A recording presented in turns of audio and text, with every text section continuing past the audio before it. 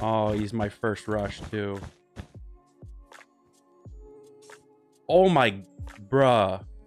This is one of the uh, the alt accounts here. I'm on left and right of an alt. This guy has, uh, I think, 8,000 finals, which is not terrible. But for an alt account, like, that's quite good. At least we get his best. I don't know if I'll be able he's just gonna buy a better sword. Like, this guy's smart, yeah. No way we traded. Let's go. Good fight. Oh, goodbye.